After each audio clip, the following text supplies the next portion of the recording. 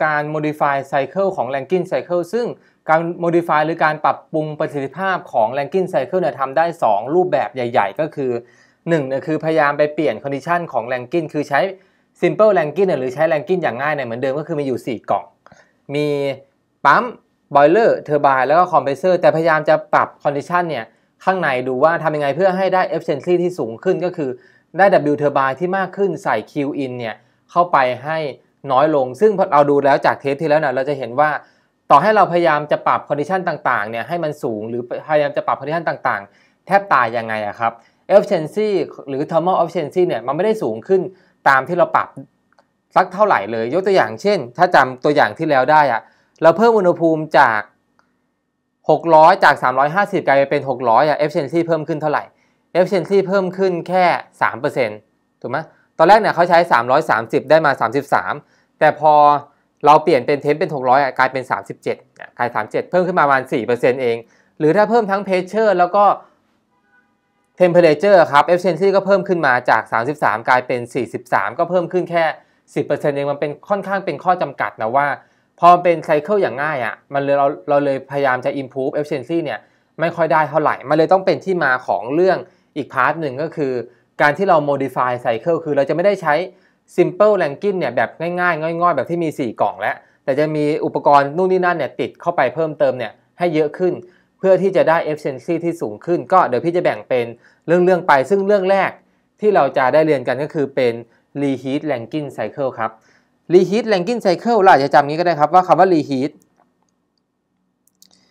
reheat คือการเอา heat เนี่ยกลับไปเอาสารเนี่ยกลับไป heat ซ้ำ re ก็คือการย้อนกลับ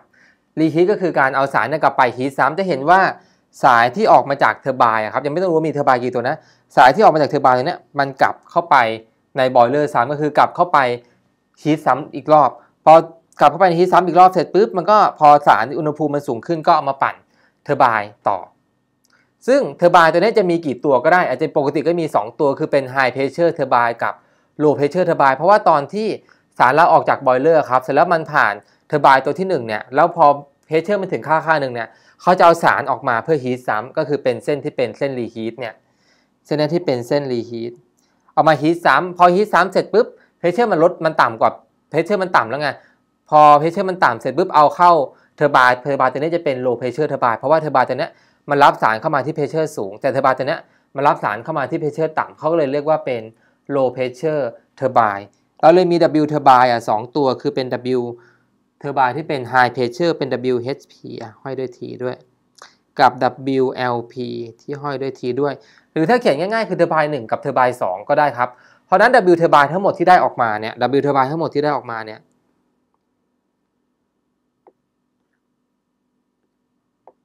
เราจะเรียกว่าเป็น W turbine net หรือ W turbine เฉยๆก็ได้ แต่ปกติพี่ชอบใช้เป็น W turbine เฉยๆ เพราะว่าไม่งั้นถ้าใช้เป็น net เนี่ย มันจะไปตีกับ W net ที่มาจาก W turbine ลบกับ W ของปั๊ม W turbine เลยมีค่าเท่ากับ turbine ตัวที่1นะครับ high pressure turbine บวกกับ W turbine ตัวที่ 2 ก็เป็น low pressure turbine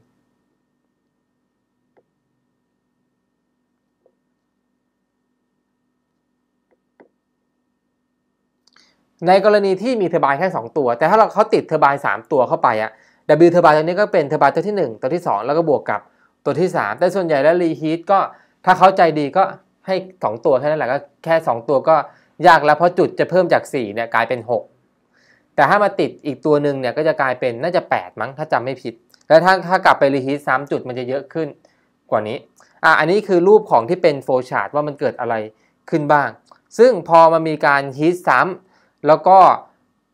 ได้ W turbine ออกมาอย่างเงี้ยมันจะทำให้ efficiency ครับสูงขึ้นเพราะเราได้ W turbine เยอะขึ้น แทนที่ตอนแรกอาจจะได้แค่ W turbine ที่เป็น high pressure ตัวเดียว พอเราเอา high pressure ไป heat ซ้ำแล้วไปเข้า low pressure จะได้ออกมาอีกติ่งหนึ่งก็คือจะได้เพิ่มขึ้น มันก็จะทำให้ efficiency ครับสูงขึ้น ถ้าเราลองมาวาดกราฟดูอะเดี๋ยวจะพาวาดด้วย เหมือนเดิม concept ของการวาดกราฟอะครับคือเราต้องสร้างเส้น pressure ก่อนอาจจะต้องสร้างโดมก่อน มันจะเป็น sat dome เนี่ย sat dome ขึ้นมาก่อนปุ๊บพอสร้าง sat dome เสร็จปุ๊บให้เขียนเส้น pressure เวลาจะดูว่าเส้น pressure หลักมีกี่เส้นให้นับที่ปั๊มครับ มีปั๊มหนึ่งตัว เส้น pressure จะมีเส้น pressure หลักจะมีอยู่ 2 เส้น เส้น pressure หลักคือเส้นนี้เนี่ยเส้นเนี้ยที่ซูมเข้าไปนิดนึง จะมีเส้นนี้หนึ่งเส้น เส้นนี้หนึ่งเส้น แล้วนี่อีกหนึ่งเส้นอุ้ย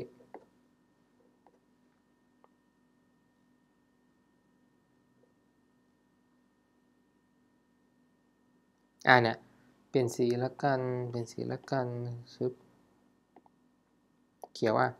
นะครับนี่คือเส้น pressure หลักก็คือมีสีม่วงที่เป็น pressure ต่ำแล้วก็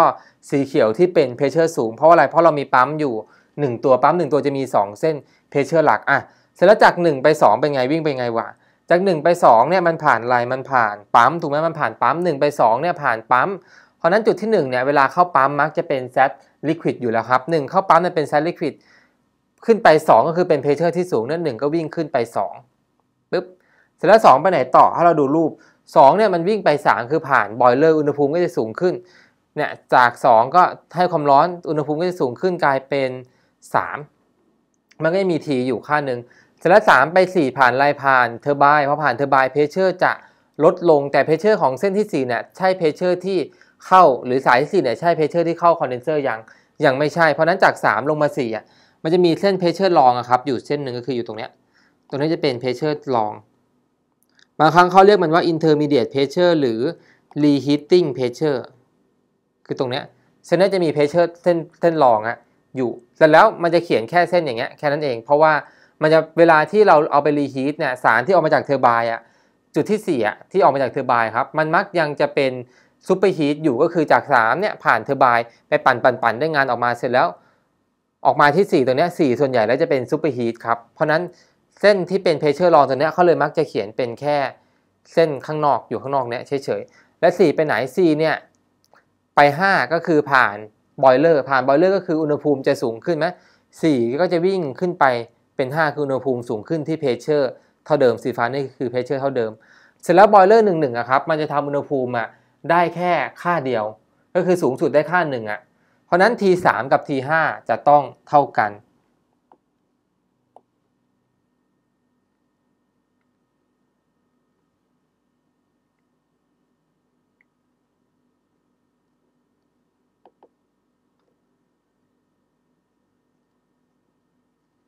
ที3กับ T5 จะต้องเท่ากัน เพราะมันผ่านตัวบอยเลอร์ตัวเดียวกัน เทมมันเลยต้องเท่ากัน สร็จแล้วไปไหนต่อเอ่ย เสร็จแล้วจาก 5 จาก 5 ผ่าน low pressure turbine ก็ดึง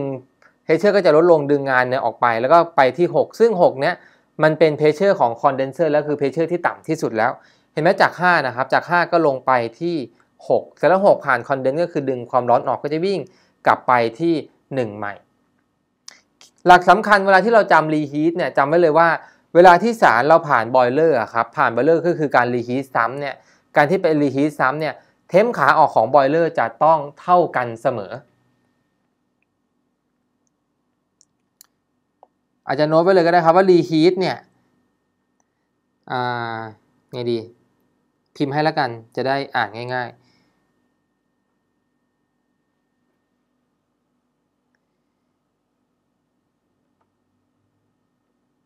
ที่ขาออกจาก boiler จะเท่ากันเสมอ คอนเซปต์ของ reheat ก็คือ temp ขาออกของจาก boiler ครับ มันจะต้องเท่ากันเสมอขาออกก็คือเป็น T3 แล้วก็ออกจาก boiler ก็คือ T5 T3 กับ T5 จะเท่ากันตลอดถ้ามันมีการรีฮีทซ้ำหลายรอบอะเทมที่ออกจากบอยเลอร์จะเท่ากันเสมอ อย่างที่นี้ก็จะเป็น T5 3 กับ 5 T3 เท่ากับ T5 คือบางข้ออาจจะเป็นรีฮีทแบบ3รอบเดี๋ยวพี่ดูก่อนมีโจทย์ไหมที่เป็นรีฮีท3ข้อ3ครั้งหาแป๊บ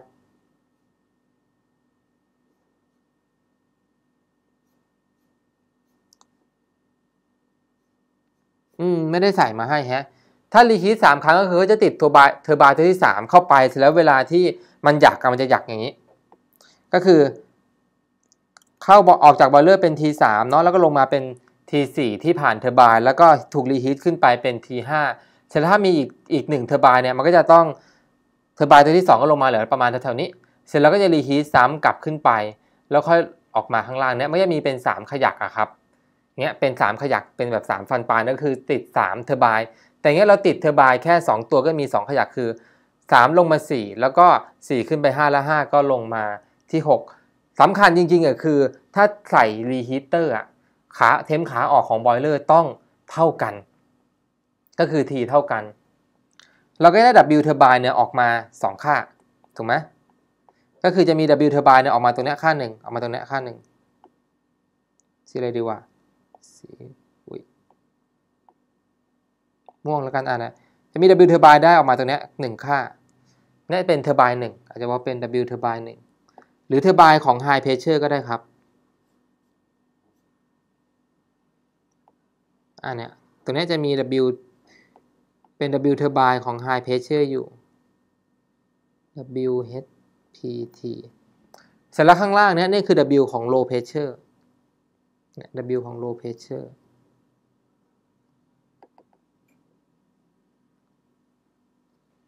ซึ่งเวลาเราหา W turbine ก็คือต้องจับ high pressure รวมกับ low pressure แต่เวลาเราทำเรื่องพวกที่เป็น modify cycle อะพวกที่ถัดจากเนี้ยเป็นต้นไปอะครับ เวลาที่เราหาค่า nita thermal อะครับ thermal efficiency อะ nita th เนี่ย ปกติแล้วพี่ไม่ชอบใช้แบบที่เป็น W net ส่วนด้วย qin เท่าไหร่ เพราะว่าบางครั้งเรามี อย่างที่บอกไปคือบางครั้งเรามี turbine มากกว่า 1 ตัว หรือมีปั๊มมากกว่า 1 ตัวเนี่ย เวลาใช้ W net เนี่ย ก็ต้องไปหาว่า turbine มีกี่ตัวจับมารวมกันให้หมดนะ ปั๊มมีกี่ตัวจับมารวมกันให้หมดนะแล้วค่อยจับมาลบกันได้เป็น wnet แต่ถ้าเราปรับ wnet ให้กลายเป็น q in ลบ q out และจัดรูปสมการใหม่กลายเป็น 1 ลบ q out ต่อด้วย q in นะครับ โดยปกติแล้ว q out มักจะมีแค่ตำแหน่งเดียว ซึ่งคือเขาไม่ต้องการถ่ายเทความร้อนออกอะแต่มันจะจำเป็นต้องถ่ายเทความร้อนออกเพราะไม่งั้นมันจะรับความร้อนเข้ามาไม่ได้ ตามกฎข้อที่ 2 เอาว่า เราไม่สามารถเปลี่ยนความร้อนทั้งหมดให้กลายไปเป็น work ได้ จะต้องมีส่วนที่ drain ทิ้งออกไปตลอด แต่ว่าเขาไม่ต้องการ drain ทิ้งออกไปตลอดเนี่ยส่วนที่เป็น Q out อะจะเห็นว่า Q out เนี่ยจะมีแค่ค่าเดียวอะเสมอ ตรงเนี้ยส่วนใหญ่ตรงเนี้ยที่เป็น Q out อะมันจะมีแค่ค่าเดียวคือออกข้างล่างเนี้ยอย่างเดียวตลอดเลย แต่อย่างข้อเนี้ยข้อนี้ต้องระวังด้วยว่าเราใส่ Q เข้าไป 2 รอบนะทำไมถึงเป็น Q 2รอบเนี่ยเราผ่านหม้อต้ม2 ครั้งคือจาก 2 ไป 3 นี่1รอบเป็น Q in 1 แล้วก็จาก4เนี่ยที่เป็นรีฮีเตอร์ไป5เนี่ยนี่คือ Q in ตัวที่ 2 เวลาใช้ต้องต้องระวังด้วยคือต้องนับ Q นับ W อะให้ครบ คือถ้าเราจะใช้เป็น W net เนี่ยก็ต้องไปดูนะว่าจะใช้เป็น turbine ลบกับปั๊มต้องนับให้ครบนะว่า turbine มีกี่ตัวปั๊มมีกี่ตัวถ้าใช้เป็น 1 ลบ Q out ต่อด้วย Q in เนี่ย Q out ไม่ค่อยมีปัญหาครับเพราะว่า Q out อะมักจะมีแค่ค่าเดียว มีแค่คอนเดนเซอร์ตัวเดียวแต่ Q in เนี่ยบางครั้งมี 2 ค่าได้ยกตัวอย่างเช่น ข้อนี้อย่างตัวอุปกรณ์ตัวเนี้ยเพราะว่า มันมีการใส่ Q เข้ามาในนี้รอบหนึ่งเป็น Q in 1แล้วก็มีใส่ตรงเนี้ยใส่ตรงตรงเนี้ยที่อุณหภูมิมันเพิ่มจาก4เนี่ยขึ้นไปเป็น5นี่จะเป็น Q in 2เพราะนั้นต้องระวังว่า Q in ของเราครับมีอยู่ 2 ค่า คือ Q in 1บวกกับ Q in 2 แต่อย่างที่บอกไม่ตายตัวนะ เพราะว่าถ้าเขา modify reheat แบบที่พิสดารกว่านี้ก็คือติดตั้ง turbine 3 ตัว มันก็จะมีการ reheat เข้าไป 2 รอบ เพราะนั้น Q จะมี 3 ค่าคือมี Q ปกติค่าหนึ่งแล้วก็ Q reheat 2ครั้งอะอีก 2 รอบเพราะนั้นจะต้องดูจากฉากตัวนี้หรือจากวาดกราฟออกมาแล้วดูว่ามันมีตำแหน่งไหนบ้างที่เราเพิ่มอุณหภูมิก็คือใส่ความร้อนเนี่ยเข้าไป มันต้องนับจากกราฟเนี่ยเอาให้ได้นะคือเนี่ย Q in เข้ามา1 เข้าปกติคือ2ไป3คือผ่าน boiler ปกติ แล้วก็มี 4 ไป5เนี่ยก็คือตอนที่เขา reheat เนี่ยก็คือ heat จาก temp ที่เป็น4เนี่ยขึ้นไปเป็น temp ที่เป็น5นั่นก็จะมี Q ออกมาอีกหนึ่งตัว ถ้าเรามี reheat 3มี reheat อีกครั้งหนึ่งก็จะมี Q เป็น Q3 Q in 3เนี่ยเข้ามาด้วยต้องนับให้ครบ turbine ก็เหมือนกัน turbine 2ตัวก็เลยมี W เทอร์บายเนี่ยสค่าโอเค ฟังพี่พูดอาจจะยังดูสับสนสับสนนิดนึงเดี๋ยวลองมาทำโจทย์กันดูครับว่า เรื่อง reheat เนี่ยทำยังไงบ้าง concept หลักสำคัญของ reheat คือตัวนี้ reheat temp ขาออกของ boiler ต้องเท่ากันหลักของ reheat เนี่ยคือบางครั้งเขาจะไม่บอกมาว่าอุณหภูมิขาออกของ reheat เนี่ยที่เป็น T5 เนี่ยเท่าไหร่ เราอาจจะต้องรู้ได้ด้วยตัวเองครับว่า temp ขาออกของ reheat เนี่ยจะเท่ากับ temp ที่ออกมาจาก boiler มันจะต้องเท่ากันอะลองดูโจทย์ดีกว่าเขาบอกว่า consider steam power plant operate on a ideal reheat Rankine cycle เงี้ยพออ่านโจทย์เสร็จปุ๊บรู้ได้เลยว่า โจทย์เขาบอกมาชัดเจนว่าเป็น ideal reheat Rankine เราก็ต้องรู้ว่าต้องมี Q 2 ค่ามี W turbine เนี่ยสองค่าต้องจุดที่ต้องหาเนี่ยคือ 6 จุด หรือถ้านึกไม่ออกลองวาดกราฟดูก็ได้ครับ เดี๋ยวพาวาดกราฟ Steam enter the high pressure turbine ก็คือ 15 กิโลปาสคาร600 องศา อันนี้ก็เป็นตัวบนสุดอาจจะเป็นจุดที่ 3 อะ and and is condensed in the condenser at pressure เท่ากับ 10 กิโลปาสคาร์นี่คือ T ของ condenser ก็คือ T1 กับ T T ของ condenser อะเนี่ยเป็น T ต่ำที่สุด if the moisture content of steam exit of the low pressure turbine เนี่ย is not exceed 10.4%ตรงนี้สำคัญตรงนี้จะบอกค่าเรา 1 ค่า โอ้ยค้าง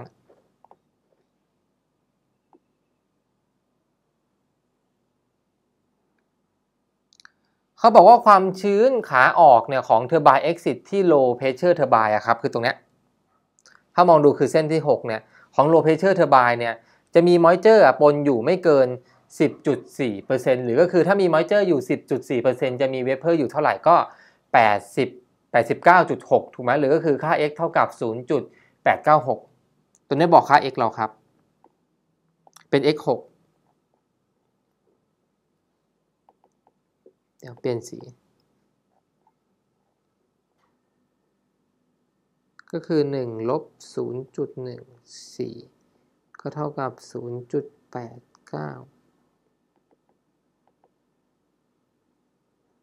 6อ่าจบแล้ว โจทย์ให้หาอะไรบ้าง determine the pressure as which steam should be reheat ก็คือให้หา pressure กลางอะว่าเท่าไหร่ pressure ตรงเนี้ย intermediate pressure pressure สีฟ้าว่าควรจะใช้ pressure เท่ากับเท่าไหร่ดี แล้วก็ข้อ B thermal efficiency ก็ nita th อ่าให้หา 2 อย่างเนาะ A กับ B assume the steam reheat inlet temperature of high pressure turbine นะเขาบอกว่าสตรีมอุณหภูมิของสตรีมที่ออกมาจาก reheat เนี่ยจะเท่ากับ inlet temperature ของ high pressure turbine อย่างที่บอกไปคือ character ของ reheat เนี่ยอุณหภูมิขาออกของ boiler ครับมันจะต้องเท่ากันเสมอก็คือ T3 เท่ากับ T5 พอดีตรงนี้เขาบอกมาค่อนข้างชัดเจนว่า อุณหภูมิ reheat เนี่ยจะเท่ากับอุณหภูมิของไอ้เจ้าตัว turbine inlet เลตเนี่ยพอดีก็คือ T3 เท่ากับ T5 อาจจะโน้ตไว้ก็ได้ ว่าตรงเนี้ยเขาบอกเราว่า T3 เท่ากับ T5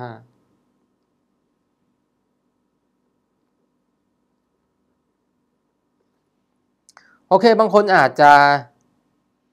ยังวาดกราฟไม่ค่อยถนัด เดี๋ยวมาวาดด้วยกันดู เดี๋ยวต้องยกรูปนี้ไปด้วยทำไงดีวะ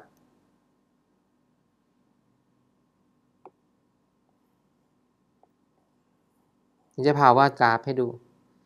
ส่วนใหญ่แล้วถ้าอาจารย์ไม่ใจร้ายจะดำอะครับ ส่วนใหญ่เขามักจะออกจบถึงแค่รีฮีทนะ แต่แต่ถ้าอาจารย์บางท่านเขาออกลึกกว่านี้ก็ได้นะ เพราะมันมีเรื่องลึกกว่านั้นอยู่ แต่ว่ามันจะใช้เวลาในการทำเนี่ยค่อนข้างนานกว่ามาก ๆเลย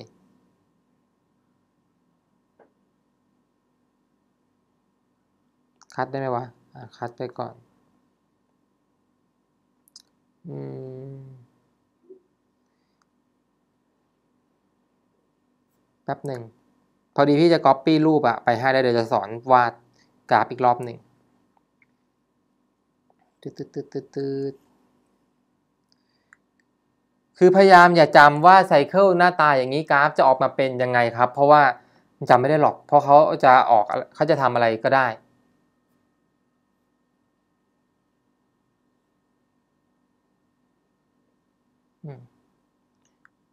เราควรจะวาดกราฟอะ TS diagram จากรูปที่เป็นรูปโฟล์ชาร์ตอย่างเงี้ยให้ได้ คือไม่ต้องไม่ไม่ควรจำอะว่าถ้าหน้าตารีฮิตมันจะต้องเป็นสองขยักตรงหัวหัวไปปลายเนี่ยไม่ควรจะจำอย่างนั้นนะ ควรจะวาดออกมาให้ได้เลยอะเพราะบางครั้งถ้าเขาเปลี่ยนนิดเปลี่ยนหน่อยอะรูปเปลี่ยนอุปกรณ์นิดหน่อยอะรูปกราฟก็เปลี่ยนไปแล้วนะ ครับมาวางไว้ที่เดิมชึบ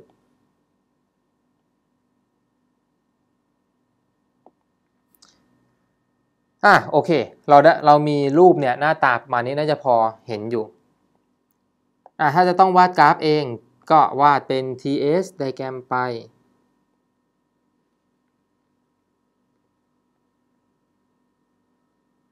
เสร็จแล้วก็วาดแซดโดมแซดโดมของพวกอ่า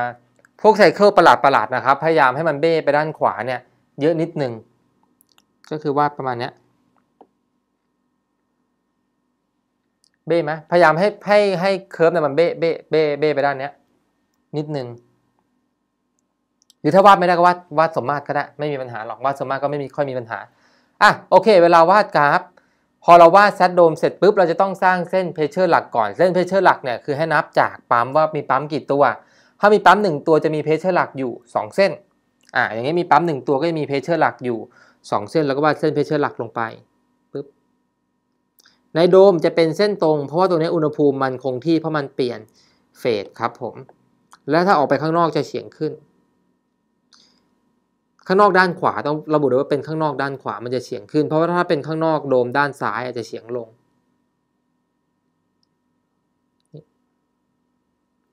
ซึ่งโจทย์ระบุมาไว้แล้วว่า pressure เนี่ยที่เป็น pressure ของ High Pressure Turbine เนี่ย pressure บนสุดเนี่ยก็คือ 15 กิโลปาสอะ15เมกะปาสคาลแล้วก็ pressure ของคอนเดนเซอร์ก็คือ pressure ตัวล่างที่ต่ำที่สุดก็คือ 10 กิโลปาสคาลเนี่ยเราก็ได้ว่าตัวนี้คือ 15 เมกะปาสคาลและตรงข้างล่างนี่คือ 10 กิโลปาสคาลโอเค พอวาดโดมเสร็จปุ๊บลงเส้น pressure หลักเสร็จปุ๊บค่อย ๆ ไล่ที่ขาเข้าของปั๊มมันจะง่ายที่สุด เพราะว่าขาเข้าของปั๊มเนี่ยจะเป็น sat liquid จุดที่1เลยเริ่มตรงนี้1เนี่ยเลยเริ่มตรงนี้ ฉะนั้นละหนึ่งไปไหนเอ่ย1ไป 2 ก็คือผ่านปั๊ม pressure สูงขึ้น แล้วมันเป็น pressure ที่เข้า boiler ด้วยก็คือ pressure ที่สูงที่สุดคือ 15 เมกะปาสคาลเพราะนึงเพราะฉะนั้น1เนี่ยเลยวิ่งขึ้นไปตรงๆ ขึ้นไปเพราะเป็น ideal ก็วิ่งขึ้นไปตรงๆ ก็ได้จุดนี้เป็น 2 ออกมา เสร็จแล้ว2ไปไหนเอ่ย2เนี่ยมันผ่าน boiler กลายไปเป็น 3 ก็คือ 3 ออกจาก boiler ก็จะกลายเป็น superheat แล้วครับ ก็แถวๆนี้แล้วกัน ให้จุดนี้เป็นจุดที่ 3 ซึ่งความพิเศษของ reheat คือ temp อะครับ T3 มันจะเท่ากับ T5 คือ temp ที่ออกจาก boiler แล้วก็ temp ที่ออกจาก reheater ตัวเนี้ยก็คือจริงๆมันเข้า boiler ซ้ำแหละ มันจะเท่ากัน เวลาเราเขียนเราจะเขียนไว้งี้ก็ได้ ก็คือขีดเป็นเส้นเลยแล้วเรารู้ว่า temp เท่าไหร่ก็คือ 600 องศา C โอเค 3 ไปไหนต่อ 3 ไป 4 ผ่าน turbine pressure จะลดลง แต่ว่า pressure สายที่ 4 เนี่ย ไม่ใช่สายที่เข้าคอนเดนเซอร์ เพราะนั้นมันจะยังไม่ลงไปข้างล่าง มันก็จะลงไปสักสักตรงหนึ่งอะลงไปแถวๆนี้อะเนี่ยลงไปตรงนี้ แล้วได้จุดนี้เป็นจุดที่ 4 มันจะเป็น pressure ตรงกลางที่โจทย์ถามหาในข้อ A ว่า pressure ของ reheat เนี่ยเท่ากับเท่าไหร่ เสร็จแล้วเราก็จะมี pressure ที่อยู่ตรงกลางใช้เป็น สีเขียวแล้วกัน นี่ก็เส้น pressure นะ อยู่หนึ่งเส้น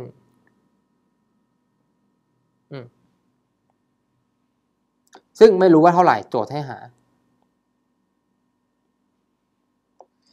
จาก 4 เนี่ย 4 ไปไหนต่อ 4 เนี่ย ไป 5 ก็คือผ่าน reheater ผ่าน boiler ก็คือเส้นที่เป็น reheater อุณหภูมิมันจะกลับเข้าไปเท่าเดิมก็คือจาก 4 เนี่ยก็จะวิ่งขึ้นไปถึง 5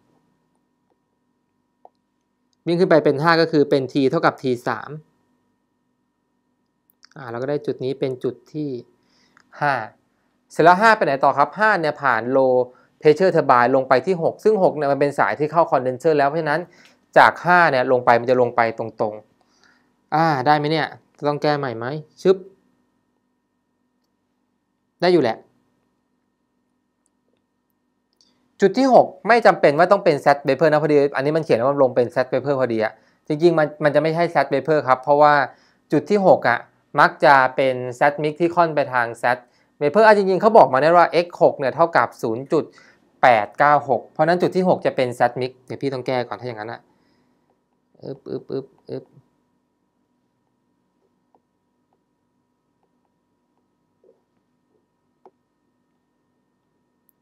เลยเป็นสาเหตุว่าให้พยายามขีดอ่าวาดโดมเนี่ยให้มันเบ้เบ้ไปด้านขวานิดนึงอะคือพยายามลากเส้นให้มันเฉียงเฉียงออกมาเนี่ยนิดนึงสามลงมาสี่ลงมาแถวนี้อะแล้วก็มีเส้น pressure ที่เป็น pressure กลางหนึ่งเส้นชันๆเลยอะ จุดนี้เป็นจุดที่ 4 เสร็จแล้ว4ขึ้นไป 5 จุดนี้ห้าเสร็จแล้วห้าลงมาที่หกอ่าประมาณนี้ก็ได้ได้อยู่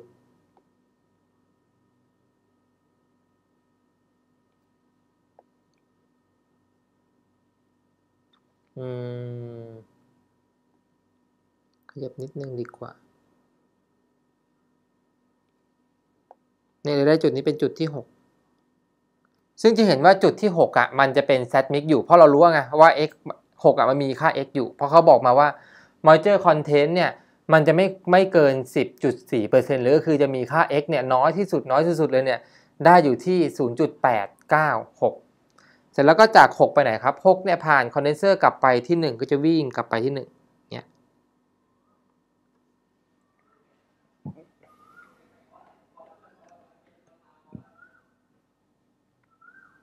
อีกข้อหนึ่งค่อยวาดรูปใหม่ก็ได้ ก็ได้หน้าตากราฟเนี่ยออกมาประมาณนี้อ่าเสร็จแล้วเวลาทำทำไงเอ่ย เวลาทำก็คือต้องหาค่า h e a ให้ครบทุกจุดถูกไหมคือหาได้มีกี่จุดมีอยู่ 6 จุดก็ต้องหา h e a เนี่ยให้ครบทั้ง 6 จุดก่อน แล้วก็ค่อยๆ ดูว่าโจทย์ถามหาแล้วค่อย ๆทำตามนั้นไปอะมาเริ่มกัน ปกติก็เริ่มที่1เนาะเพราะว่า1เนี่ยเป็นอะไรที่หาง่ายที่สุดแล้วเพราะ pressure เท่ากับ 10 กิโลปาสคาลจุดที่ 1 สถานะเป็น sat liquid ก็เปิดตารางได้ตรงๆเลยอะ1 ถ้าใครเปิดตารางแม่นแล้วครับ ลองกด pauseแล้วก็ลองเปิดตารางเนี่ยค่อยๆทำไปดูก็ได้นะ เพราะว่ามันจะคล้ายๆเดิมอะคือหน้าที่เราก็คือไปหาค่า h เนี่ยให้ครบก่อน แล้วก็ค่อยไปดูว่าโจทย์เขาอยากได้อะไรค่อยๆคำนวณตามนั้น จุดที่ 1 ต้องหา h 1 h 1ก็เท่ากับ h f เพราะเป็น set liquid ที่ 10 กิโลปาสคาลก็เท่ากับ 191.81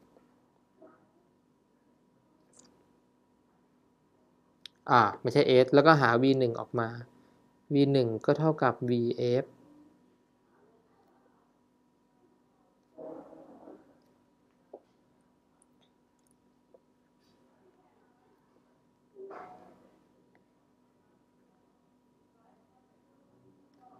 เสร็จแล้วมันเป็นไอเดียลเป็นไอเดียลก็คือขึ้นไปตรงๆ ลงไปตรงๆ เวลาที่จะหา h 2ก็หาจาก h 2ลบกับ h 1 เท่ากับ v 1 p 2 ลบกับ p 1 เพราะฉะนั้น h 2 เลยเท่ากับ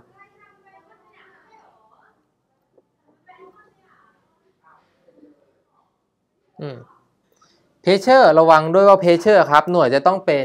กิโลปาสคาลเท่านั้นเพราะว่ากิโลปาสคาลรวมกับเมตรกำลังสามจะกลายเป็นกิโลจูล เพราะนั้น 15 ที่โจทย์ให้มาครับ จะต้องใช้ 15คูณ10กำลัง3จะไปใช้ 15ลบ10หลักผิดนะ เพราะ 15 มันเป็นเนกะอยู่ต้องกลายเป็น 15 คูณด้วย 10กำลัง 3 ลบกับ 10 หน่วยก็จะกลายเป็นกิโลปาสคาลแล้วบวกกับ h1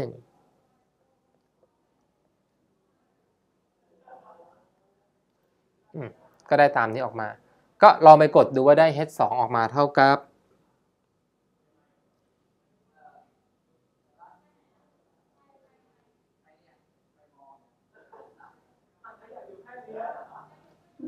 อะสองศูนย์หกจุดเก้าห้ากิโลจูลต่อกิโลกรัม เสร็จแล้วหนึ่งไปแล้วสองไปแล้วต่อไปเป็นอะไรเป็นจุดที่สามสามหาได้ครับเพราะสามเรารู้อะไรบ้าง รู้ว่าเป็น superheat จากการมันเป็น superheat แล้วก็15เมกะปาสคาลอุณหภูมิ600องศาจุดที่3ก็หาได้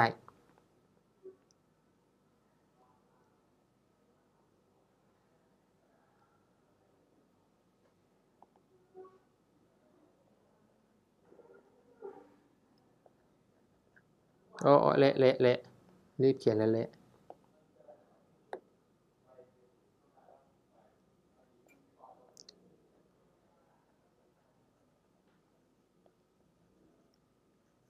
อันนี้ก็เปิดหา h3 ออกมาได้ตรงๆ h3 ก็ได้ 3 5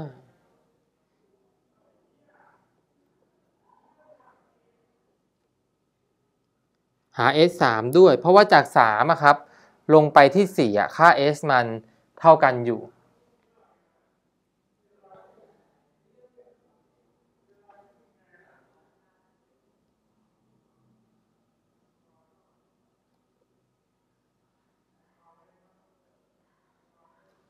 อืม ก็ได้จุดที่ 3 ออกมาแล้วก็คือ h 3กับ s 3เสร็จแล้วจุดที่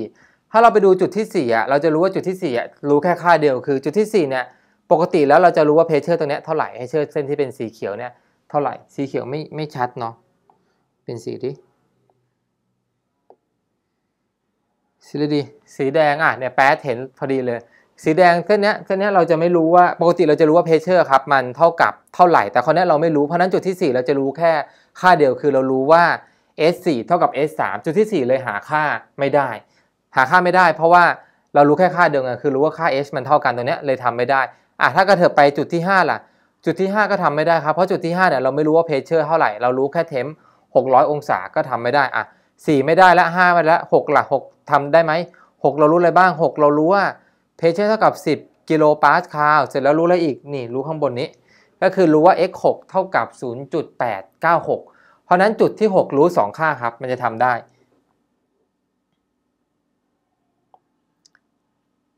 เนี่ยจาก 3 มาเลยข้ามเป็น 6 ก่อน เพราะ 4 กับ 5 เรารู้แค่ค่าเดียวทำไม่ได้ปกติเราเปิดค่าต้องเปิดต้องรู้ 2 ค่าถึงเปิดได้อะเพราะนั้นจาก 3 ก็จะข้ามเป็น 6 6 ไว้นี้แล้วกัน 6 รู้อะไรบ้าง 6 เนี่ยรู้ว่าเป็น z mix ครับทำไมถึงรู้ว่าเป็น z mix เพราะโจทย์ให้ค่า x มาว่า x 6 เนี่ย เท่ากับ 0.896 แล้วก็รู้ว่า temp เท่ากับอ่า pressure เท่ากับ 10 กิโลปาสคาลหาอะไรต้องหาเฮดเพราะว่าเราต้องหาเฮดให้ครบทุกจุด รู้ x หา h ยังไงจำได้ไหมหรือว่าลืมไปแล้ว ใช้แต่ inter i interpolate จนเพลิน h 6มีค่าเท่ากับ 1 ลบ x 6 หรือ 1 ลบ x h f บวกกับ x ของ h g อ่าแบบนี้ก็ได้ครับ หา h 6เนี่ยจากสมการนี้ แล้วก็หา S6 ด้วย สาเหตุสาเหตุที่หา S6 เพราะว่าจาก 6 กับ 5 เนี่ย S มันเท่ากัน จุดที่ 6 ถ้าเรารู้ค่าว่า S เท่าไหร่ จุดที่ 5 จะ S เท่ากัน และจุดที่ 5 จะมี S 5เท่ากับ S 6แล้วก็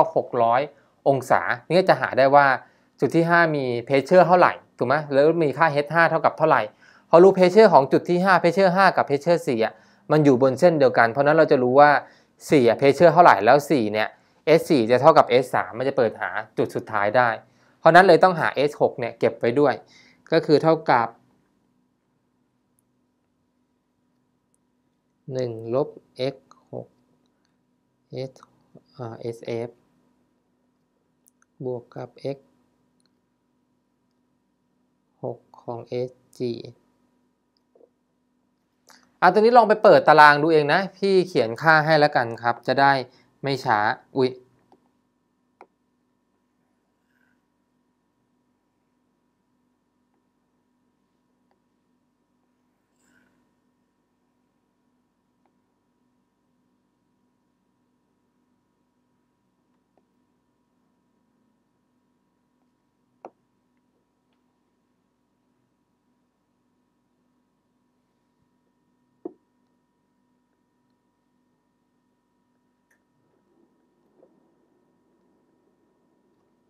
ถ้าใครเปิดตารางหรือหาค่าพวกนี้ไม่แม่นนะกลับไปดูเทปทบทวนนะครับ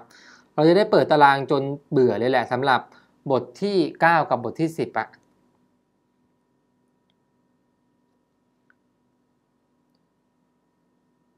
เจ็ดจุดสามหกปดแปดอืมได้ออกมาแล้ว หรือถ้าใครไม่ชอบทำแบบนี้ครับ ไม่ชอบใช้ไม่ชอบจำสูตรนะจริง ๆ มันสามารถทำแบบที่เป็น interpolate ได้นะ ก็คือเราตั้งตารางเงี้ยถูกไหมเรารู้อะไรเรารู้ค่า x อยากได้อะไรอยากได้ h กับ s ก็บอกตัวนี้รู้ x ตัวนี้คือค่า h ก็คือ x หลังจากจาก0ถึง 1 h ก็คือ hf กับ hg เพราะนั้นเราก็จะ interpolate ได้ครับว่าถ้า x เท่ากับ 0.896 เนี่ยจะมีค่า h เท่ากับเท่าไหร่จริงๆมันคือวิธีเดียวกันกับออกมาเป็นสูตรอย่างนี้แหละอะก็แล้วแต่ถนัด พอจุดที่ 6 หา s6 ออกมาได้แล้ว เราก็บอกว่าหาจุดที่ 5 ได้แล้วครับ เพราะว่าจุดที่ 5 เนี่ย 6 กับ 5s มันเท่ากันก็คืออ่าเท่าไหร่วะ600 องศา c เสร็จแล้วก็ s5 เท่ากับ s6 รู้สองค่า เสร็จแล้วถ้าไปดูกราฟจะเห็นเลยว่ามัน phase อะไรวะ phase ที่เป็น superheat เนี่ยเป็น superheat ก็interpolate ค่าจากตารางได้ครับ อยากได้อะไรบ้างอยากได้ค่า h เนาะค่า h กับ จุดที่ 5 จริงๆต้องเอา h ด้วย h กับอ่า pressure เพราะว่าโจทย์ข้อ A เขาถามหา pressure ว่า pressure ของ reheat คือ pressure ของ 5 กับ4นะเท่ากับเท่าไหร่ก็ interpolate ได้ครับ อาจจะหา pressure ก่อนก็ได้ เพราะว่าเวลาทำเนี่ยอย่างเงี้ยเรารู้อุณหภูมิ 600 องศา แล้วก็รู้ว่า S5 เท่ากับ S6 เวลาทำก็ตีตารางก่อนเดี๋ยวจะพาไปเปิดค่าให้ดูเผื่อใครจำไม่ได้ว่าทำไงตีตาราง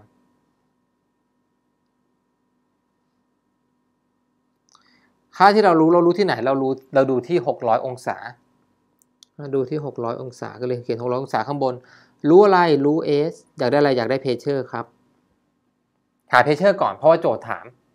อะแล้วทำไงวะเวลาทำก็คือ เราก็ไปดูตารางที่เป็น superheat ถูกไหมเพราะว่าจุดที่ 5 เนี่ยเป็น superheat pressure ไม่รู้สิ pressure อาจจะต้องลองไล่ดูครับว่าที่มี S ใกล้ ๆ เราอะเรามีที่ 600 เนี่ย เรามี S เท่าไหร่วะ temp 600เนี่ยมี S เท่ากับประมาณ 7.36ถูกไหม7.37 7.36 ถ้าเราดูเนี่ยอะดูสูงๆเนี่ยที่ 600 600 นี่มี S เท่าไหร่ 600 นี่มี S เท่ากับ 8.0 แต่เรา 7.3 อะไม่ใช่แล้ว ไม่ใช่ที่ 1 ไม่กับปาร์ตคาลองไล่ดูเรื่อยๆอะถ้าดูที่ 2 บ้าง 600 มีเท่าไหร่เฮ้ย7.5แล้วเรา 7.3 ใกล้เคียงใกล้เคียงอะไปดูต่อ ถ้าเป็นที่3เมกะปาร์ตคาลล่ะ3เมกะปาร์ตคาลเนี่ย ที่ 600 เนี่ยปึ๊บไปดูอะ จะมีค่า s เนี่ยเท่ากับ 7.5 แต่เรามัน 7.38 อะ ไปดูที่ 3.5 บ้าง 3.5 มีเหลือเป็นเท่าไหร่ 7.4 เออใกล้เคียงนะ 3.5 เนี่ย ได้ราวๆ 7.4 แต่ก็ยังไม่ใช่ครับ มันต้องหาค่าคอมให้ได้อะ อะ ไปทดเอาไว้ในใจก่อนว่า ตอนเนี้ย ที่ 3.5 เมกะปาสคาลมีค่า s อยู่ราวๆสัก 7.4 แต่เราต้องการ 7.3 68 อะ ลองไปดูที่ 4 บ้าง ถ้าดูที่ 4 600 องศา 4 600 องศาเนี่ย เรามี 7.37 นะ 7.37 นะ 7.37 แต่เรา 7. เท่าไหร่นะ 7.368ที่ใกล้เคียงใกล้เคียง แต่ถ้าไปดูที่ 4.5มา4.5 เนี่ย เหลือเป็น 7.31 ของเรามัน 7.36 เพราะนั้นมันจะอยู่ระหว่าง pressure เท่าไหร่อยู่ระหว่าง pressure ที่ 4 เมกะปาสคาลกับ 4.5 เมกะปาสคาลเนี่ยเราก็เขียนได้ครับว่า ที่ 600 องศาเนี่ยค่า s ก็จะมีค่า s ของเราอยู่ระหว่าง 4 กับ 4.5 4 ก็คือได้เท่าไหร่วะจำไม่ได้ อะ 4 จะได้ 7.376 7.3706 เสร็จแล้วที่ 4.5 ล่ะ ที่ 4.5 เนี่ยจะมีค่า s เท่ากับ 7.3127 7.3127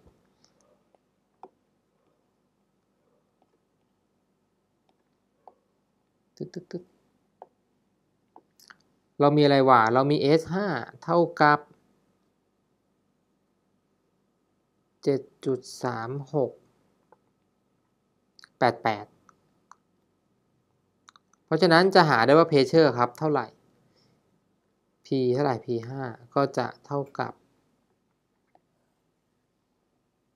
อะเราก็ไป interpolate ดูว่าถ้า s เท่ากับ 7.3688 เนี่ยมันอยู่ระหว่าง 7.37 กับ 7.31 เนี่ยจะมี pressure เท่ากับเท่าไหร่ แล้วก็ลอง interpolate ดูครับ จะได้ pressure เนี่ยออกมาประมาณ 4.015 เมกะปาสคาล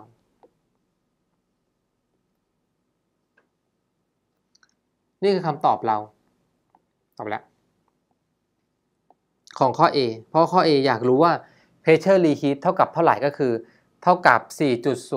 4.015 ซึ่งพอ pressure มันไม่ได้ลงค่าปกติอย่างเงี้ย มันเป็น pressure ที่ค่อมถูกไหมถูกไหม อะ pressure ที่คอมเนาะเพราะว่ามันเป็น 4 แล้วก็เป็น 4.5 pressure ที่เราได้อะ pressure ของเส้นเนี้ยมันคือ 4.015 เป็น pressure ที่คอมแต่ตอนที่เราไปเปิดค่าต่อครับ อย่างถ้าเราอยากหาค่า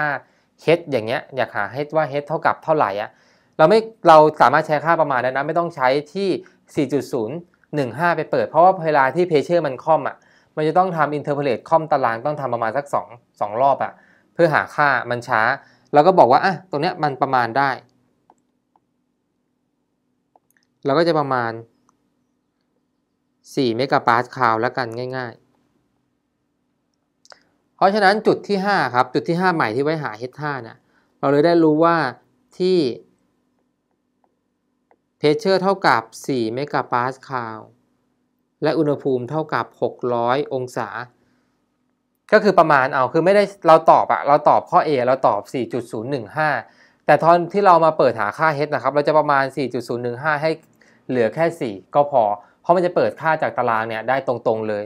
แต่ถ้าไป interpolate ค่าที่เป็น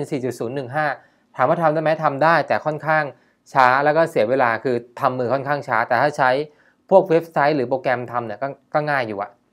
อะเพราะนั้นพี่เลยใช้ที่ 5 เนี่ย pressure ตรงเนี้ย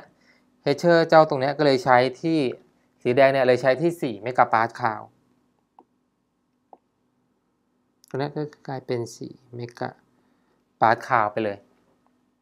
ปัดปัดไป จุดที่ 5 เลยไปหา H5 ได้ เปิดหาได้ตรงๆอะเนาะว่า H5 เท่ากับ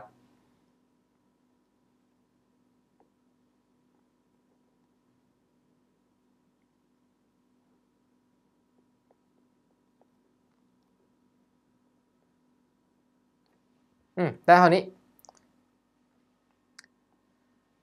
พอหา H5 ได้เสร็จปุ๊บจุดสุดท้ายที่เราขาดก็คือจุดอะไรวะจุดที่ 4 เนาะมันมี 1 2 3 6 แล้วก็5เสร็จแล้วก็ขาดจุดที่ 4 ซึ่งจุดที่ 4 เนี้ยเราจะรู้ 2 ค่าแล้วคือรู้ว่าเพชเชอร์เท่ากับ4เมกะปาสคาลกับ S3 เท่ากับ S4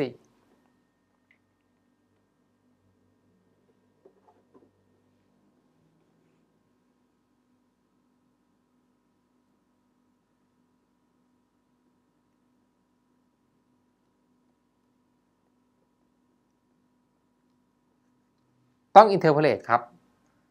อาจจะต้องเช็คก่อนก็ได้ว่าเป็น superheat จริงหรือเปล่า เราก็ไปดูว่า S3 เท่าไหร่วะ S3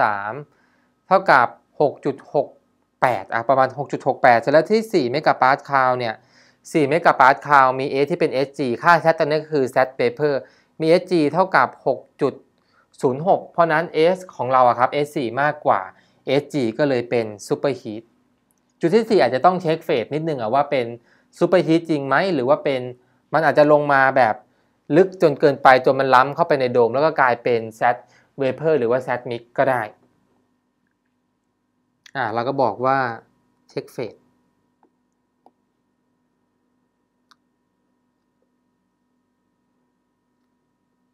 เรียกได้ว่า S4 เนี่ยมีค่ามากกว่า SG at 4 megapascal เพราะฉะนั้นเลยเป็น superheat พอเป็น superheat ต้อง interpolate ครับ เพราะว่าถ้าเราเอาค่า S ไปเปิดตารางอะมันค่ามันไม่ได้ลงตารางเป๊ะๆอยู่แล้ว ก็ไป interpolate เอา ดูที่ไหนดูที่ 4 megapascalรู้อะไรรู้ S อยากได้อะไรอยากได้ H อะเราก็ไปดู S เราเท่าไหร่นะ S 4เท่ากับ S 3 S 3มัน 6.68 6.679 6.68 ก็ไล่ดูอยู่ตรงไหนว่า 6.68 นี่จะเห็นว่ามันจะอยู่ระหว่าง 2 ค่านี้นี่อยู่ระหว่าง 6.77 กับ 6.9938 ถูกไหมแล้วอยากได้อะไรอยากได้ค่า h ค่า h ก็จะอยู่ระหว่างคู่นี้ ก็จับมา interpolate หรือถ้าใครขี้เกียจเขียนตารางครับ จะกดเครื่องเลขจากเซตนี้เลย ก็ได้แต่ปกติพี่เขียนตาราง เพราะว่าพี่ต้องการกลับมารีเช็คเวลาทำข้อสอบด้วยว่ากดเครื่องเลขถูกหรือเปล่าอะก็ไปเขียนเตรียม interpolate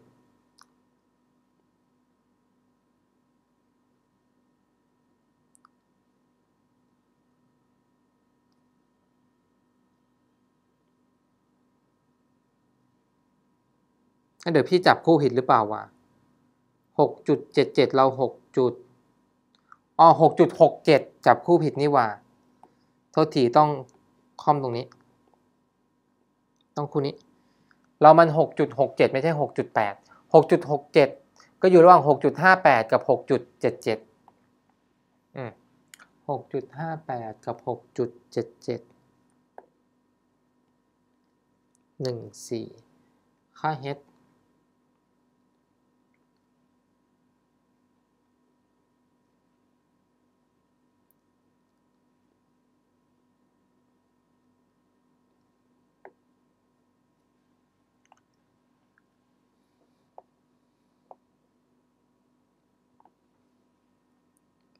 เราก็รู้ว่า S 4 เท่ากับ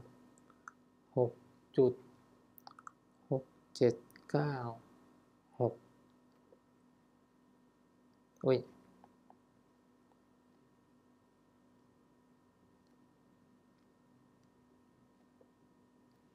ก็หา H4 ออกมาได้ 3 1 5 5 โดยประมาณ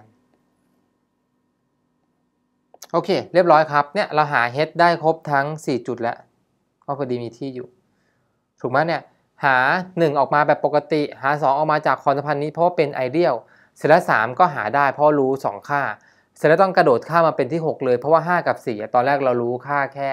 ค่าเดียวก็ไปหา 6 ก่อนเสร็จแล้วเอา6เนี่ยย้อนกลับขึ้นไปหา 5 เพราะว่า s มันเท่ากันเนี่ยก็ 6 ไปหา 5 ได้ 5 ออกมาเสร็จปุ๊บเราจะรู้ว่าเพเชอร์ที่ ของจุดที่ 4 กับ 5 ครับ เท่ากับเท่าไหร่ ซึ่งใช้พี่ใช้ค่าปัด เพราะว่าขี้เกียจไปอินเทอร์เ l ลตคอมตารางที่ 4.015 ก็เลยใช้ที่ 4 megapascal ไปเลยก็ไปเปิดถามว่า H5 ได้เท่าไหร่ เสร็จแล้วจุดที่ 4 เราจะรู้ 2 ค่าแล้วคือรู้ว่า pressure ตัวนี้เท่ากับ 4 megapascal แล้วก็ S4 เท่ากับ S3 เพราะมันลงมาตรงๆนั่นก็ไปจับอินเทอร์เ l ลตว่าได้ H4 เท่ากับเท่าไหร่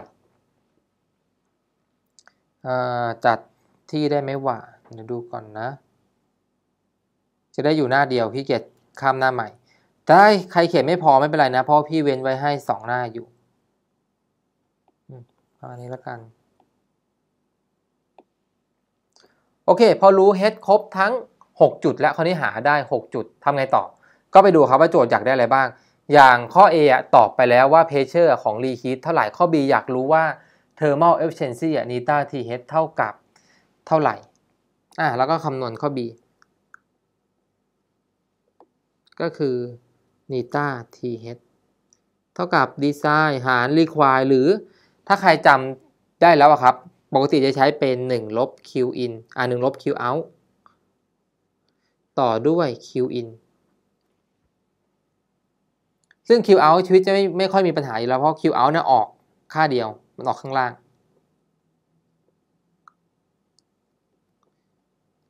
q out ออกข้างล่าง ก็เนี่ยคลายความร้อนออกข้างล่างก็คือ 6 ลบกับ 1 เป็น h 6ลบ h 1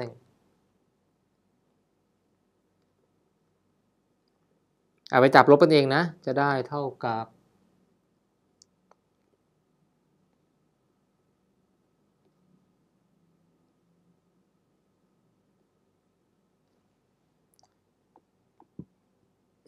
เสร็จแล้วก็ Q in Q in ต้องระวังด้วยว่าพอเป็น reheat นะครับ มันจะมี Q อยู่ 2 ค่าก็คือ Q ผ่านบอยเลอร์ปกติจาก 3 ไป 4 ผ่านบอยเลอร์ปกติเนี่ยจาก 3 ไป4เนี่ยมี Q in 1 ค่า เสร็จแล้วก็จาก4เนี่ยไป 5 ที่เป็นฝั่งที่เป็น reheat เนี่ยก็จะกลายเป็น Q in อยู่ 2 ค่าอะเพราะนั้น Q in ก็จะเท่ากับ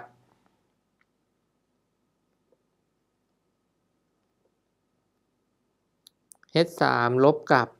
H2 ก็คือจาก 3 จาก 2 ไป 3 แล้วก็บวกกับจาก 4 ไป 5 5 ลบกับ H4 ก็ลองแทนค่าคำนวณดูว่าได้เท่ากับเท่าไหร่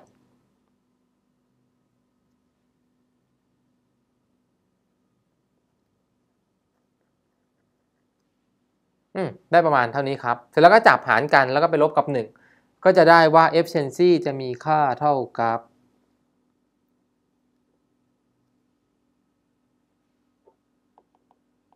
มันเบียดกันอยู่ขยับปึ๊บมาข้างบนดีกว่า ได้ประมาณ 45%ก็ดีขึ้นมานิดหนึ่งถ้าใครจำได้อะครับ ข้อที่แล้วอะที่เราใช้ pressure ที่ 15 megapascal แล้วอุณหภูมิ 600 องศาเนี่ย เป็นตัวสูงสุดก่อนที่เข้า turbine อะมาได้ efficiency ประมาณสักเท่าไหร่นะ 40 กว่ากว่าเนาะอันนี้ก็พอติดตั้ง reheat เนี่ย efficiency ก็จะสูงขึ้นมาอีกนิดหนึ่งแต่ว่าตัวเนี้ยถ้าเขาทำให้มันเป็น superheat มากกว่านี้ครับ จุดที่ 6 อะ ให้จุดที่ไอจุดที่ 6 เนี่ย ที่ให้มันชิดตรงเนี้ยค่าตรงเนี้ยถ้าให้ x ตัวเนี้ยมันน้อยกว่านี้อีกนิดนึงอะ h จะได้ efficiency ที่สูงกว่านี้ เพราะว่าเหมือนกับว่าพยายามดึงออกมาพยายามจะขยับตรงเนี้ยขยับส่วนนี้ออกมาให้ชิดกับตรงเนี้ยมากที่สุดเนี่ยมันจะได้ W turbine ออกมาที่เยอะที่สุด แต่ก็แล้วแต่ครับโจทย์ให้เราคำนวณแค่นี้ก็คำนวณเท่านี้อะตอบแล้ว อาจจะเห็นว่ามันเพิ่มขึ้นจึงเดียวอะแต่เพราะว่ามันไม่ได้เหมือนข้อ9ทับ5ตัวนี้ไม่ได้เหมือนกับ9ทับ4อะซะทีเดียว9ทับ4ข้อ4อะซะทีเดียวอะเพราะว่าค่า x มันน้อยกว่า x น้อยกว่าก็เลยได้ w turbine อะที่น้อยกว่าก็เลย efficiency ก็เลยต่ำอ่า efficiency เลยใกล้ ๆ กันไม่ได้ต่ำกว่า